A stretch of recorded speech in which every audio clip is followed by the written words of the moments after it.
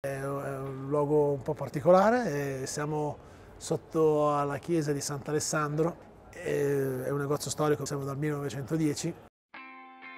dal 1910 al 2024 e oltre. È una lunga storia quella dell'impresa artigiana familiare Fusaia, che sorge nel cuore di Milano e da oltre 100 anni fa delle chiavi, le serrature e le casseforti il suo punto di forza. Il mestiere è cambiato negli anni, dalla classica chiave adesso l'accesso ai luoghi passa anche dal riconoscimento facciale e dall'impronta digitale, ci spiega Andrea Fusaia, il titolare della storica attività, che però ci tiene a chiarire che il mestiere è ancora manuale e artigiano. Una impresa, la loro, che è anche un raro gioiello che racchiude storia e cultura. Proprio lì dove sorge il negozio c'è un passato secolare che vive ancora oggi grazie all'attività.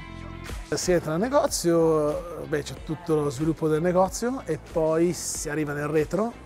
che eh, praticamente sono un po' degli spazi di, in comune con la chiesa poi ci sono cantine loro, una cantina nostra e eh, lì ci sono dei, dei, dei resti romani, eh, c'è anche una piccola eh,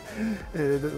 ossario anche, no? poi, e poi si arriva eh, fino a Piazza Missori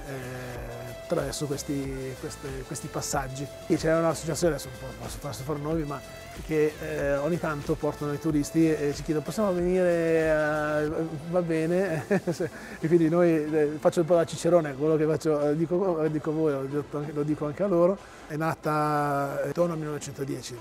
prima c'era un po' di carbone e eh, della, delle, della lavorazione in ferro,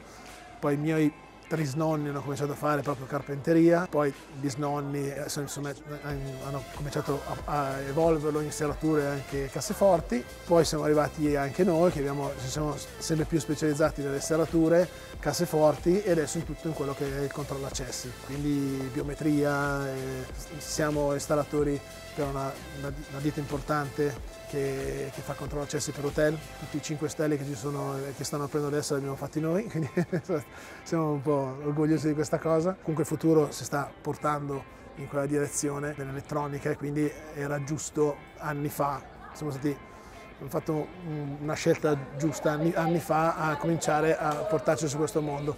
Il lavoro meccanico, la serratura ci sarà sempre ovviamente, la porta ci sarà sempre e il controllo come gestiamo la, la porta che sta cambiando c'è tanto lavoro, veramente una, una forte richiesta sia nel privato ma anche nel, nel pubblico, anche perché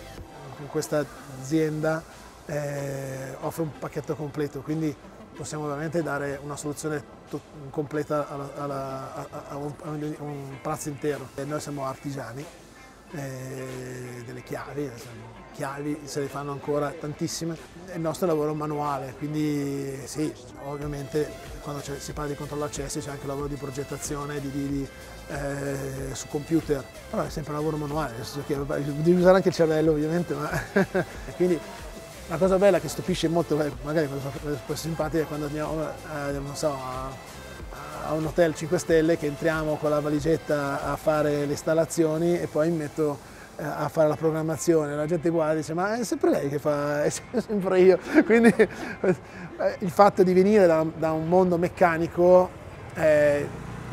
ci ha un po' aiutato a fare, a, a fare tutte e due.